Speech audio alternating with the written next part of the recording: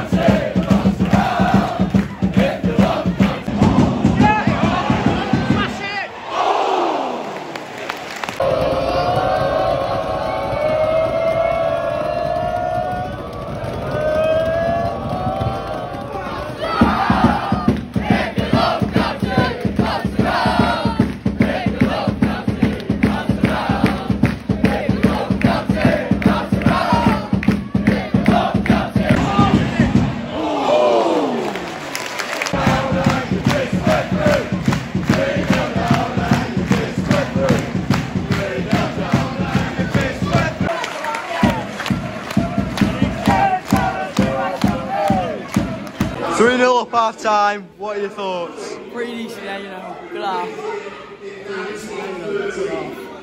laugh.